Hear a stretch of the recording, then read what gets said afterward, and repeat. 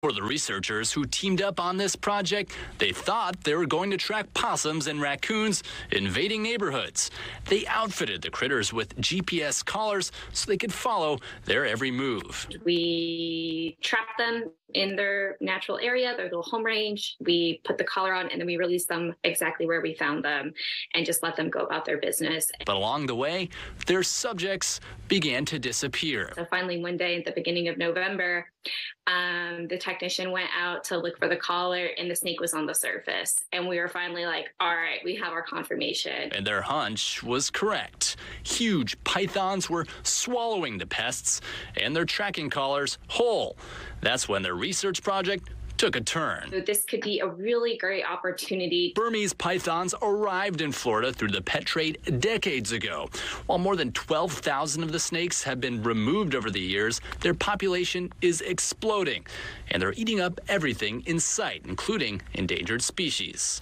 Take a look at this x-ray of a python's belly. The possum is gone, but you can see the GPS collar it used to wear right there. Oh my God! Tracking pythons has its advantages. Just ask these python hunters who came across an 18 footer last August. For population control and for keeping tabs on how far and how fast they're moving north towards central Florida. And this could be a really good method of finding them because right now there's no good method for finding snakes anywhere. Crandall says it's crucial to remove the invasive pythons to protect all other species. So I think we're really getting a glimpse of how frequently um, animals may be being eaten in the environment.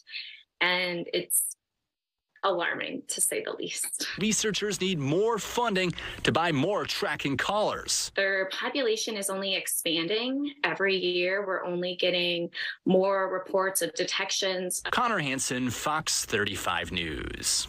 Those researchers plan to be back here in Florida testing out those collars again this summer.